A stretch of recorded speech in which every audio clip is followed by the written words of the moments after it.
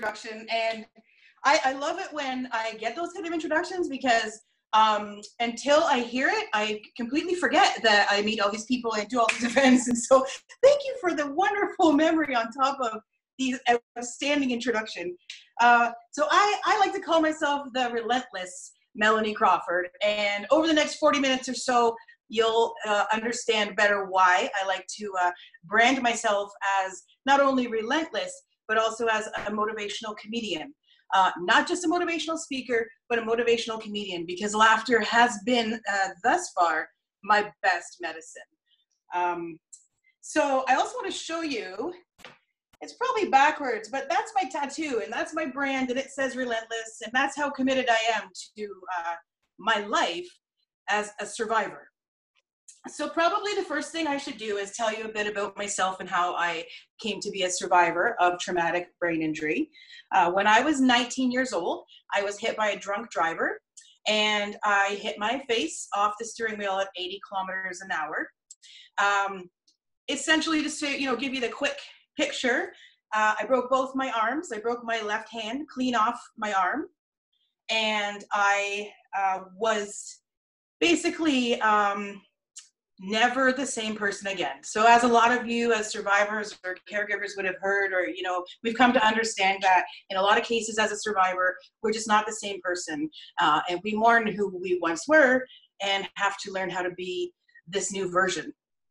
Or in my case, these new versions, because I have a few of them and I'm quite proud. Thank you. And uh, so I want to give you my prognosis because once um, I was diagnosed with a brain injury, it came with a lot of extra things. So on top of all of the, you know, the physical injuries and, and the, the various aspects that came with that, um, and you know, this, by the way, is 24 years ago. I don't know if I mentioned that. Uh, so I was 19, and uh, I was diagnosed with traumatic frontal lobe brain injury causing um, a variety of, of mental illnesses um, and not necessarily causing, sorry, but um, resulting in behaviors and, and symptoms uh, such as borderline personality disorder, bipolar, rapid cycling disorder, mood disorders, um, and well, isn't that enough, really? Right? Isn't that enough? I mean, those should be letters I get to put on my business card, right? You have a PhD? I have BPD. I think I think we're you know there's qualifications there that need to be recognized, and uh, so this was what I was told. Right, this was my diagnosis, and the thing is, they also told me that I wasn't I wasn't trainable anymore. I, I, my frontal lobe injury robbed me of critical thinking skills, and I wasn't socially appropriate whatsoever. It robbed me of, um, you know, uh, my executive functioning, which is executive functioning. It's extremely important. It's like the board of directors of my life uh, was cleared out in an instance, and nobody filled their spots, you know? And uh, that was rough. So they told me I wasn't trainable, um, that I was also unemployable, uh, largely due to the fact that I wasn't trainable, and that I would never be able to raise my own family. And that was a hard blow at 19 years old, you can probably imagine this is water. So far, the night is young.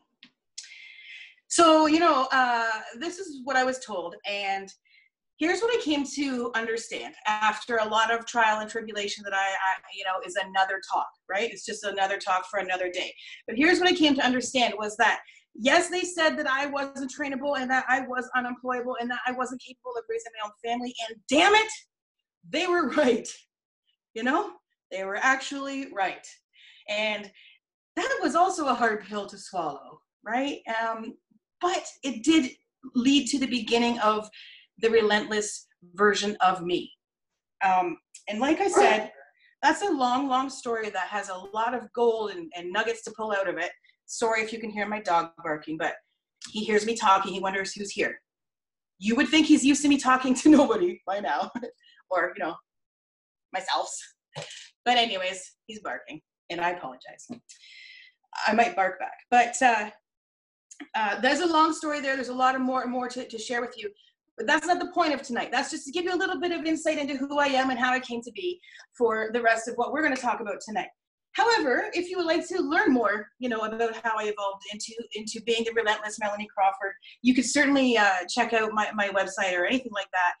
You know, beyond tonight, you're always welcome to reach out to me. Relentless and Company, you're going to find me on the, the internet. So um, that is certainly not a closed door and not a story that I'm afraid to tell.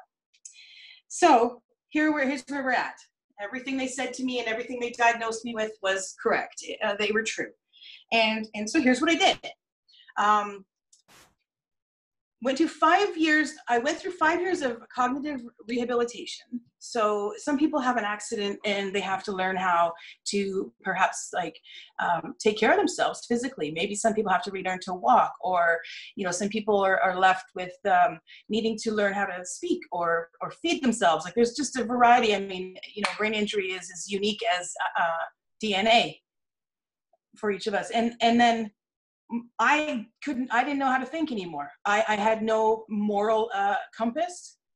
Uh, like I said, I, if you imagine a, a, a, company, a very successful company, I would add, a 19 year old extremely successful company, you know, like potentially Fortune 500 company, um, get their board of direct, directors wiped out and not replaced and still try to operate. And it's just, it was a disaster, uh, right? And so I had to do something and I had to relearn how to think again. And another long story short is that cognitive behavioral therapy taught me how to build a personality using algorithmic thinking.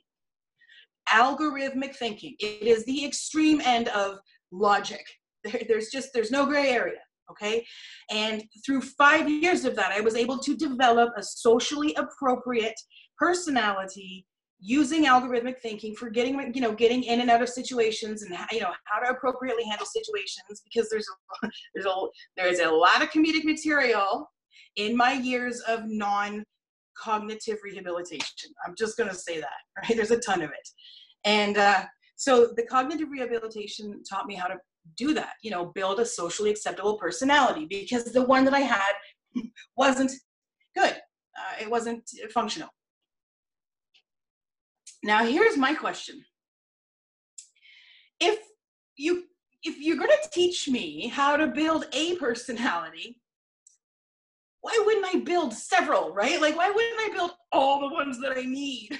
like, you just gave me the recipe for how to build a personality. Why would I stop there, right? You told me I was unemployable. Well, what if, what if I build a, an employable personality, right? Why can't I do that? Why can't I do that? And the thing is, I can't do that because I have brain damage and I and I really can't stand to let people tell me what to do and I can't stand to show up on time and I can't remember what my schedule is and so there are real facts of why I can't hold a traditional job. But I became a serial entrepreneur, and so that just means uh, I, I I self-employed. I, I I found a way to make money, uh, non-traditionally you know and, and thank god for that because uh, every other thing i tried was was failing. And so i started business and i call myself this to this date a serial entrepreneur uh, because it's worked. I mean i'm 24 years in and i am truly unemployable.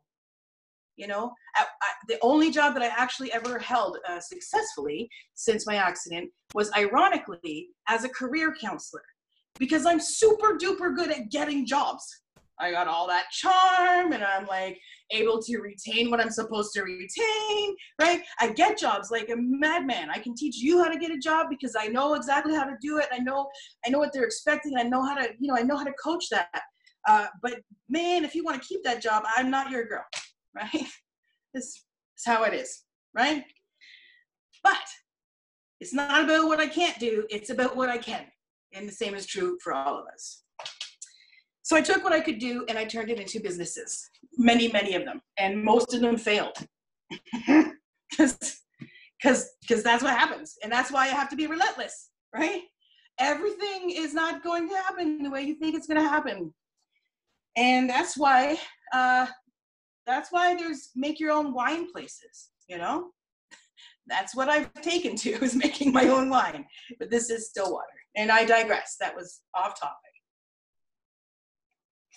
At any rate, they said um, also uh, that I wasn't trainable. And so the reason for that is because I'm uh, very impatient and I have like a lot of focus issues. I'm very easily distracted. And, you know, like basically, if I'm awake, the only thing that I think consistently is what's next. Doesn't matter how much fun I'm having, how much I love what I'm doing. It's just that's who I am now is what's next? What's next? What's next? So it's very hard to pay attention. I used to love to read. Not no more. I haven't picked up a book in so long because I can't get through a paragraph because I can't I can't can't pay, pay attention that long. So you know, there's just little things that that are that are uh, tricky, and that's that's why they deemed me untrainable. Is you know they're talking again in in uh, normative or traditional terms, right?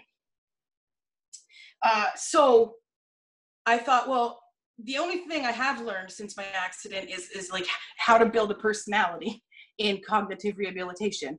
And it didn't really make any sense to go out there and try to make a living by teaching people how to have multiple personalities. Uh, you can imagine why. So instead, it, I, I, I just decided to teach people what I learned through algorithmic thinking, and I decided to simplify it and build it into a curriculum that was guaranteed. And that's the and the reason why it's a guaranteed curriculum is because it's algorithmic. That's a finite equation. So I became a corporate speaker and a corporate facilitator uh, where all I did was teach my own curriculum. And I called it whatever they wanted, right? They wanted to call it uh, dealing with difficult people. Sure, let's call it that. But I'm going to teach the same thing I teach when I go in and I teach how to have self esteem, right? Because it's a universal truth. It just works. It's algorithmic. It's guaranteed. And if you begin to think this way and if you you know use these processes you will achieve what you set out to achieve. And you know i got very successful because i had uh, i was changing environments wherever i went. And and it was awesome. I loved it. It was such good therapy for me because it's very hard to fall off the wagon when you're driving it right you know like when it's your thing that you do every day it's it's hard to forget and i forget quick so uh, it was a good time. Um, and then, you know, I, you know, uh, the humor part, it kind of comes naturally to me because once again, my life's a joke. So I don't know about you, but I might as well tell it, right? it's way more than a punchline though, you know, and I'm, I'm blessed for that. So normally, as you know, I would be standing in front of you delivering this message. And here's where we transition into something that's different than any other message I've given before, because everything I've said up to this point has come out of my mouth before. It's uh, it's my story, it's my truth, it's it's all those things, and and I maybe I pepper it up differently sometimes, or I sometimes sing songs if I'm live because I you know I like to be multi personality, faceted, talented. You put whatever you want behind multi, and that's me. And uh, I'm sad that it's not happening today, but I'm, I'm very happy that this is instead. So for those of you here, cheers to you. Thank you so much for your time and your attention. And uh, it's my intention uh, to be deserving of it. So, as you know, uh, I said earlier that having a TBI is as unique for each of us as our DNA. It's never the same, although there are tons of points of relatability between us. Um, none of us exactly experiences the same thing, which you can imagine is tremendously difficult even for caregivers and loved ones because you know everything has to be a hands-on learning experience with who we are who you know because like it's just we're that unique um but but boy are we beautiful right and um I know that I had a whole bunch of uh, we'll call them issues. You know, I dare say that my my well, actually, it's my friend John saying, but he likes to say that his issues have issues. Do you feel that? Like, I feel that, right? Yeah, my issues have issues too, and you know, I had a lot of those even before uh, we hit a global pandemic, and that's why everything that's about to come out now is new because I mean nothing is the same right? Even though i i know I, I you know all these things that i've already done in my life and that i've already accomplished and, and achieved and all these things that i've made a career out of telling other people how to do just became completely invalid because the whole world changed. And i um literally spent months trying to learn relearn how to walk my walk because the ground was gone, right? And I know every one of us went through the same thing. But I did it. And that's why I get to talk to you today because it's another thing that's worth sharing. And it's another way to say all the stuff I've already said, but it's just another perspective on learning it. And maybe it's your perspective and maybe you'll take a bunch away from tonight. And even if you don't learn anything, hopefully you laugh. And that feels good too, right? That's all I got. Plus I put sparkles on for you. Can you see? It's spark literally in a can. I sprayed sparkles. Thank you for having me tonight so that I had a reason to sparkle up. This is awesome. Here's a couple of the things that I experienced before the pandemic, before the whole world took a crap, right? The, these are what, some, of the, some of the things that I, I had to deal with. Maybe you can relate. I have to live in a controlled environment. This is not an option. If you want a version of me that isn't ready to scrap, fight, be irritated or miserable, I need to live in a controlled environment. That doesn't mean I need to be controlling. Big difference. I just need to live in a controlled environment. I need certain structure. That is different than, uh, you know, excuse me, the average person. I have a huge noise sensitivity, huge. Uh, volume or sounds are directly related to my anger switch. Instant fuse, like boom, right? Wrecks my day. It's just like a, a real issue. I have to carry earplugs a lot of places. I have unfiltered emotions. That's awesome. It makes it makes me a great comedian, but you know what? makes me a really terrible PMSer. really terrible. but anyways, I digress again. Uh, I am an extremely logical thinker. Uh, again, this is my survival technique because this is how I learned how to actually get a life back. But it does make me tricky to be around because uh, humans by nature are emotional creatures. And I don't know how to either be one or the other. I'm either all logic or all emotion, and neither one is fun to work with. So, cheers to our caregivers. Uh, memory issues. W- weird like uh, uh, usually my memory issues are about emotion. I forget how i feel about things. I, I forget how you know events make me feel uh, to the point that i will repeat the same mistake over and over again right? Like i've often wondered if maybe that's why i had four kids before i realized i didn't even want any. That was a joke. There we go. Yeah now you're laughing good. Whew, you guys were worried for a second. I know it. I know it.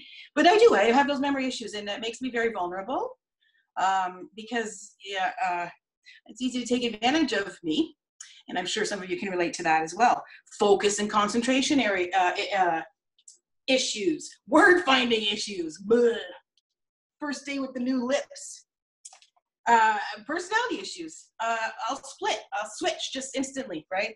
If uh, if too much emotion comes across me and I'm not sure I can handle it or I'm worried I'm going to have an outburst, I'll just turn it all off. It's all or nothing with me, right? Again, the logical thinker. These are the things I had to deal with on a daily basis before there was a global pandemic and before we were quarantined. Now, if you remember, there was three main things that they told me in my uh, prognosis. You'll never work again. You're not employable. You can't. You, are not. You're untrainable. And we, t- we talked about those. We talked about becoming a, ser- a serial entrepreneur and how I started teaching the things that I learned. But they also said I'll never be able to raise my own family, and that was true too. And I do have four kids. So you might be wondering how does that work, right? Well, I'll tell you something. I married a man that also has a brain injury. We thought that was smart but we have brain damage. and it's not, I'm not saying it was stupid, but I'm telling you, it didn't work. It did not work. Uh, we, we did our best. Uh, we got married and we had three kids. And what we decided to do is we restructured a failed marriage into a completely cohesive co-parenting partnership that we've been doing successfully since 2014 so successfully that we actually have toured a, a comedy show together, a motivational comedy show on stage together with my ex-husband, my co-parent, uh, and we call it the X Files motivational comedy show, and and we tell the story. And so, uh, you know, I can't raise a family on my own, and I don't. You know, I just restructure my life to to have the environment that works, and it's a lot of work, but uh, that's what cognitive rehabilitation helped me achieve. Um, I want to, I don't know about you, but uh, I, I want to talk about the pros and cons of this quarantine because I think uh, traditionally is complaining. It's easy to do. It's easy to go to the things that we don't like, and it's easy to go to the things that are causing us problems, and it's just easy. Um, so I'm going to switch that up, I'm, and I'm going to just be daring, and I'm going to say, let's just talk a little bit about the pros and cons because there were both. You know, let's be honest. I mean, part of the quarantine for me was like, I loved it. I I I didn't have to, you know, small talk or you know i mean i used to i used to actually go to the grocery store and take advantage of the fact that i can shape my own eyebrows because if i wasn't in the mood to like run into people i would just draw them on angry. Then people wouldn't approach me. You know so parts of this have been helpful for me. Um, so pros and cons i wrote a list got some notes here. One of the pros of quarantine by the way, I'm going to tell you a little bit about my kids. Okay. Uh, my first son, David, he's grown up and out on his own. He's 21 years old. And then the other three are uh, eight, nine, and 10. Uh, my eight year old son, Emmett, my nine year old son, Elijah, we call him Eli, and uh, my 10 year old daughter, Hope. These are my kids that I've been quarantined with. So, pros and cons.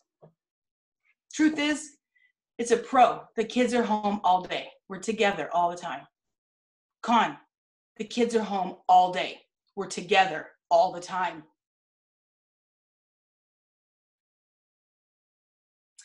Pro, I can get my groceries delivered. Now, I don't think there's anything I hate more than the grocery store. Like, holy balls, I do not like the grocery store. The the choices, the the risk of running into people that you don't remember, the like the choices, the need for a, a list that you don't remember. Do you see where I'm going here? Like it sucks. I hate it. Hate it. Now all of a sudden it's the norm to get your groceries delivered. And you don't even have to open the door. you just wave from a distance. Like this is the life I've dreamed of. Thank you. Bye. oh, it's awesome.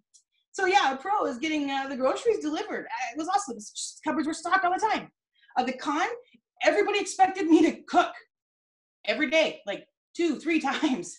Ridiculous, right? These kids, they want to eat constantly. Rude.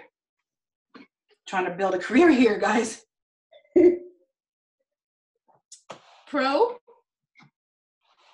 we used this time to build a phenomenal garden. Never in my life, you know, have I been expected to, uh, you know, raise raise my kids uh, the way that I have lately, and and it just made a lot of sense. We had a lot of time on our hands, and we started a lot of stuff from seeds. We grew a garden, we built a garden, we grew a garden. Still, it's just I keep looking over here because it's just like, oh, it's beautiful. It's over here, just beckoning me. You know, it's just this brand new aspect of life that's just so awesome, right? That's a huge pro, and it comes with a huge con because I've also discovered I can't grow bacon.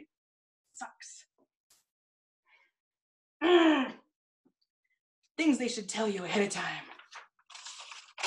How are we doing for time, by the way? I just flipped my pen. Oh, look at that. Look at that. We're doing great. I wish I could sing and I wish we were like together having some cocktails by the pool. Remember I said I get distracted? I wasn't lying. oh man. So I don't know about you guys, but I was plagued during the quarantine um, for most of it, to be honest. Uh, I was plagued with,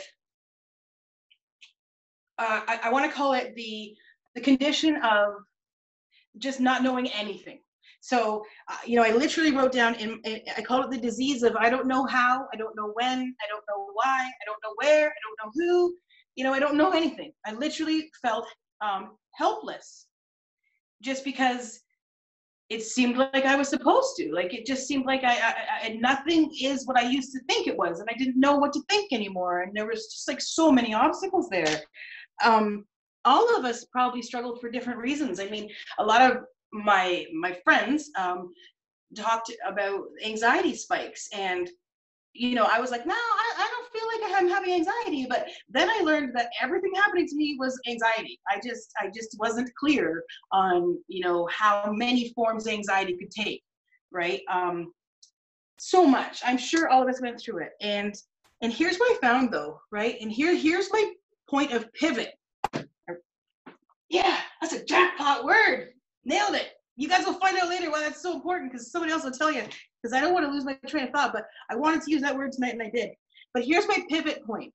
Um, in this pandemic, okay so that's what that's what i really want to stress to you guys like this is nothing new for me it's nothing new for me to relearn and it's like you know the story of the phoenix like you you you you you, you burn up and you turn to ashes and then you create new and you come back and it's just however whatever your analogy is it's all the same but here's my recent uh you know truth is i learned that as a, a tbi survivor as a tbi survivor right the thing that i often feel cursed by um I realized that this is not the first time I have faced colossal unknowns. Like that is not new for us. It's just not right. We we our life is full of it. Um, that is the very nature of a TBI, the unknown. You know, therefore, if as a TBI survivor, it's not the first time that I have faced the unknown, that means I'm experienced. And if I'm experienced, then I can't really validate my own feelings of helplessness or uselessness because I've just kind of canceled that out by, you know, validating that I am actually experienced at, you know, surviving the unknown. I still haven't figured out how or why, and I'm not telling you I felt any better yet, but it's a step because the way that you change direction in your life is one degree at a time, but just one, right? And that was my first degree. So I did that a couple times, and I'll tell you a couple, more, uh, at least one more of them um, the other thing that I that I realized, another pivotal moment for me was um, the, the the fact is that it's true that I need assistance in my life. I need assistance. I need assistance with daily life activities. I need assistance with all kinds of things because like you just can't pour this together without help, you know? So I realized it's a fact that I need assistance. And here I am quarantined with not one, but two, but both of my life partners, my ex husband, co parent, and my boyfriend, quarantined together in the house with the three kids, the dog, the two cats, and the three guinea pigs.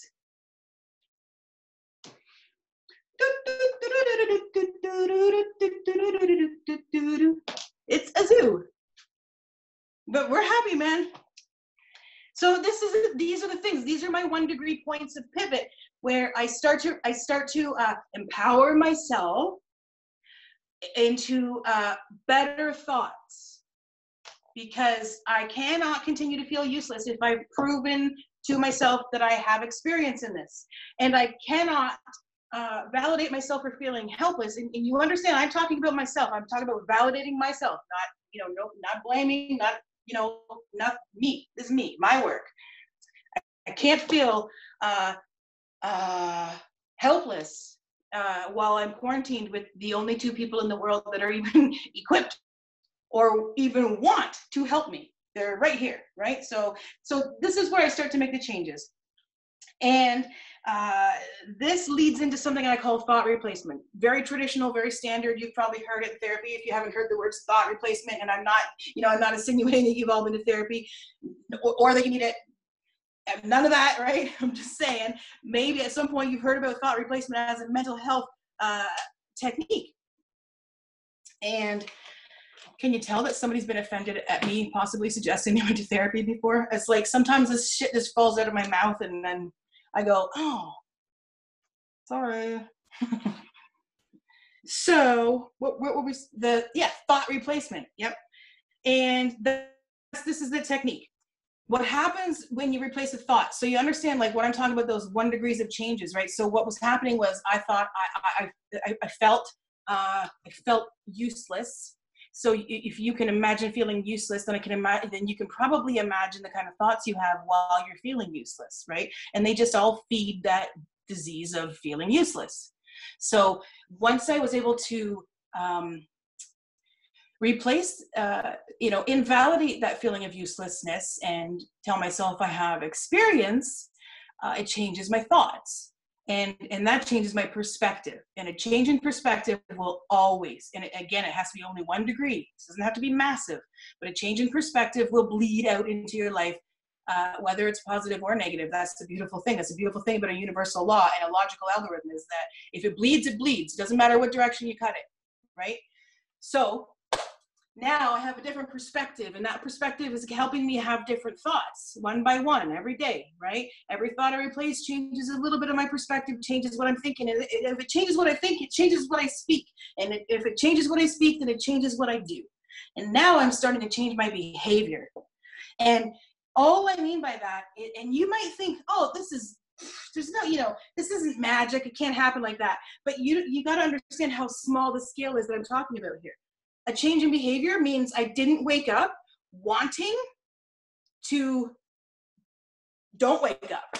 And I don't, I'm not necessarily talking about suicide uh, ideology. I'm talking about just like, ugh, at life every day, right? Like zero zest. And maybe one day I woke up with just a tiny little trickle of wanting to have a shower, maybe, you know, like and then I think about how much work it is, and I'm like, meh, you know? But then, like, the next day, I, I maybe want to have a shower, and I think about how much work it is, and I go into the bathroom this time, and then I go, meh, right? And that's that's how simple it is, right? But my behavior is changing regardless. I don't need it to be monumental changes for it to be a change, right? So what's happening now is I'm heading into an upswing. Lord, love me an upswing. Woo, man. And I can feel it coming, right? Because I know, I know that one day if I wake up and I think about showering, I know that within a week I will have nailed it, right? And after the shower comes having a breakfast. And after having a breakfast comes taking a vitamin, you know, and all, and I know the upswing's coming and I'm ready for it. And I buckle in and I'm ready for it. And so while I'm in the upswing, I make a game plan because that's the only time I'm thinking clear enough to make uh, what, what am I call? What do I want to, um,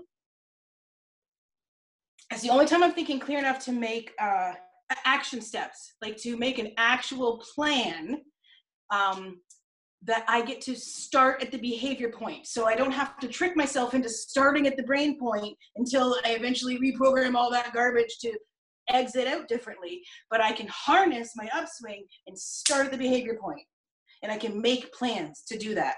And I and, and that's what I call it. I just call that like uh, uh, you know harness your upswing, make your game plan, um, and then the very the very next thing is you just have to share that with everybody that you love, right? Um, that's the newest thing that I learned, guys. Like this is the new this is like the new curriculum coming out is going to be all about this little add-on piece because uh, I've been very self-centered in my recovery I mean, I know what I need from people, and I'm very happy and uh, usually to accept it. Usually, um, but I have never uh, included people in my recovery like I have lately, and that's because like they were never gone. Like I had no choice. Man, they were always around though. Oh, I was so scared for a while, honestly, guys, because I was like, I don't know how to do this. I don't know how to be a teacher for these kids. Like, I don't know how to teach grade three, grade four, grade five. I don't know how to live with my ex husband and my boyfriend under the same roof. Like, how do you do that? Right? I don't know how to do that. And, and I didn't know how to like never be alone again. Like, that was terrifying. That was actually scarier than the whole boyfriend husband issue. Was like, you're never going away. Like, this, that's, that's, that sucks. Right? I mean, the best company I ever had is my own and maybe I'm alone on that, maybe I'm not, but man, I was scared. And and you know, I thought I don't know how to answer the kids' questions. I don't know how to be optimistic. I don't know how to I don't know how to lie. I don't know how to I, I just you know and I hate saying I don't know and there's all these I don't know how to go without a manicure. Like I love these. These these make me feel so good. And then you know I then I feel like, oh, how awful is it that you're worried about getting a manicure? And then and then the other, you know, the other people inside me are like, yeah, it is awful, you know. And then all of a sudden I'm depressed and all, you know, I, can't and I don't and, I, and it's all the negatives. So that had to change, right? Um, 100%. So the greatest thing that I learned that I was, you know, leading up to before I got off on that tangent uh, was the sharing of it with the people you love. What that looks like for me is I all of a sudden. Um, well, well, I had a breakdown, uh, and it's not the first, and it won't be the last. But my kids are, you know, they're a little bit older every time it happens, and they they have a little bit more understanding, and they they witnessed all of it. And a breakdown for me is just uncontrolled emotion. you know, over the top, uh, um, uh, blown out of proportion feelings, you know, not not rage or anger or violence or you know uh, none of those things um, but but you know a, a, an embarrassingly huge display of uncontrollable um, distorted reality emotion and uh, coming out of that was a huge learning curve as I've just explained to you, you know, all, all the stuff that I, that I, that I did to slowly change my, my life one degree at a time. Um, and then we decided we're going to have family meetings once a week because mental health is so important for all of us and none of this is is something that any of us know how to do. And i'm not the only one that's responsible for doing it. I'm one of three adults in the house and there's three kids and like man you know when i transitioned from feeling like i have to lead everybody and i don't know how into i need to equip my team because none of us know how and we need to figure this out together it changed everything. Um, now so you know having a, a weekly checkpoint where basically um, everybody has the opportunity to discuss how life is affecting them.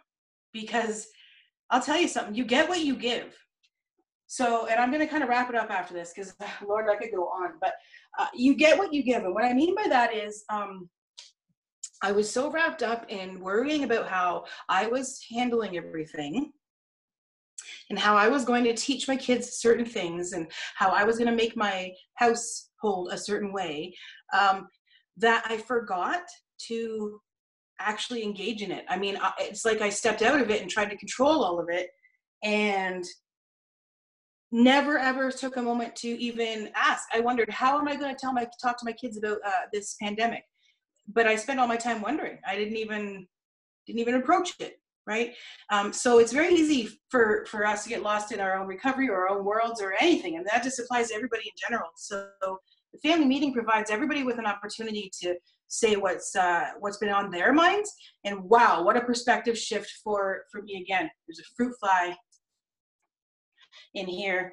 But uh, you know, listening to them uh, and understanding they have their own concerns and their own worries, and understanding that the scale of them is so much smaller than I had it in my head because I am an extremist. And realizing that I do have the capacity to comfort them once they actually know what's bothering them, not just assuming I know. Uh, what if what a success feeling and I can't wait to hear every week. And this is, you know, this is applicable to me in my life because I'm a mother right now. But I can guarantee that if you said to me, Melanie, how would I? That's not applicable to me because I, I'm not, a, you know, I'm not a mother with a child. Doesn't matter. I guarantee you that I can help you figure that out because it's a recipe. It's it's not an idea. It's it, it is a, it's a it's an algorithm. It's a solution. It is a method of human relations. And I forgot. And I actually, not only did I forget, but I um, it took me a long time to figure out that I needed to learn a new technique. And, and what I love about human relations is that there's only one criteria. It, and that criteria is that you're a human. So, parent, child, boss, worker, senior, junior, husband, wife, brother, sister, like no other thing matters. If you're a human, these uh, techniques work at making your life better by one degree. And that's all you need. Because once you figure out how to get one degree, you figure out how to get the rest.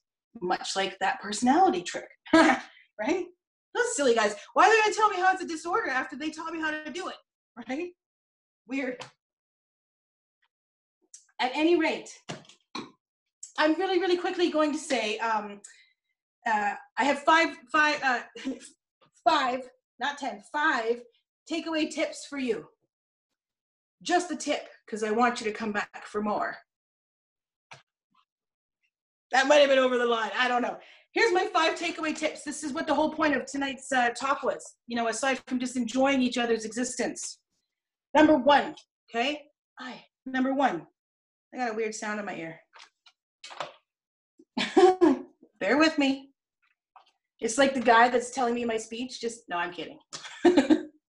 number one, uh, have a running pros and cons list. Because remember, I said to you about replacement thoughts? It starts with your pros and cons list. Because here's the trick that I teach people they say, Yeah, oh, all I got is cons. Well, guess what? You don't get to move on to the next stage until you match it with a pro. And that forces you It forces you to think the replacement thought, right? I don't even have to teach you that. I just have to say make a pros and cons list. And you're gonna feed me anyways. That's number one. Okay. Have a running list. And when you're feeling all right, when you're feeling good one day, walk over to your list. I love to take, I don't know if you can see this, but see where I'm pointing the black area on my wall? That's a blackboard. Okay, I've done that in every room, on every wall. I just literally walk around the house with blackboard chalk paint, right? Slap, slap, slap, because I need notes everywhere. I just erased that so it looked pretty on camera, right? But it was full of notes before. And I write this stuff down. Uh, so pros and cons. I mean, when you're struggling in your mental health, I mean, if you, if you know, if the doctor said you need this medicine and you need this antibiotic until you get better, how is it any different? If you need to track your pros and cons until you feel better, friggin' do it. It's easy, and you will feel better. It's a guarantee, right? Pros and cons is step number one. Step number two is to turn the pros and cons into your replacement thoughts, right? So it's just taking that one little step further. You know, like I said to you, um, it, it's just uh, invalidating your distorted negative thoughts. That's where it starts. Um, number three, the takeaway tip from today was to make your game plan when you're in your upswing. And remember, think about how you can recognize that upswing. It's not huge, it's just one difference from the day before and you can't find differences unless you're tracking so please you know commit to tracking yourself if you want to enhance yourself you have to know your baseline right i only i literally have an app on my phone every day i have to plug in my app it's a little sliding scale energy upon waking up right one to five that's all I do. I wake up and I'd be like, if, if I'm feeling meh, I do a one. And if I'm like, woo, I don't even need a Ritalin today, right? I do a five. And if I wake up happy to wake up but need Ritalin, I do a three. And then I can look, I just like, like can look at a graph and I can be like, wow, I've had like a lot of consistent ones. Like maybe I need to start a pros and cons list. It's it's literally that easy, right? And then uh, number four was to have a, a, meeting with the people you love in your life to share all that you're doing for yourself. Um, and like uh, I don't know if I completed this thought, but the thing was that you get what you give, and and in having this meeting with my family and hearing their own thoughts on what's happening um, and understanding their expectations, um, it allowed me to comfort them. And by comforting them, I comforted myself. And in that, you you know, that's what I mean by you get what you give. So, and you you need to take the time to find out what uh, what you can offer instead of assuming, right? I'm bad for that. Um, and the very, very last thing that I'm going to end with tonight is that the most important takeaway tip is to always, always find humor in your life. And the number one way to do that is to follow the relentless Melanie Crawford. Okay, that's it. That's how you do it. um, you guys have been awesome tonight. Uh, I'm just going to tell you real quick keep an eye out on my website because I've started a new business with the quarantine. It forced me into uh, some changes. I can't be out in clubs and doing performances the way I used to. Uh, so I've started a new uh, online uh, show called Clean Cooking and Dirty Comedy, which is uh, going to be a weekly online show launching uh, this week. It's on the website, it's on the Facebook, um, and it's just that clean cooking, dirty comedy, lots and lots of fun, a way to stay engaged, something I can do in the house with my family uh, if you had three kids to try out your kitchen adventures, you would do it too, right? That's gonna be fun. Come on, we all gave our babies lemons and watched them be like, or maybe it was just me. I don't know. At any rate, that's it for me. You guys have been awesome. I think we're going to probably maybe answer questions, or I'm not quite sure, but I'll pass it back to your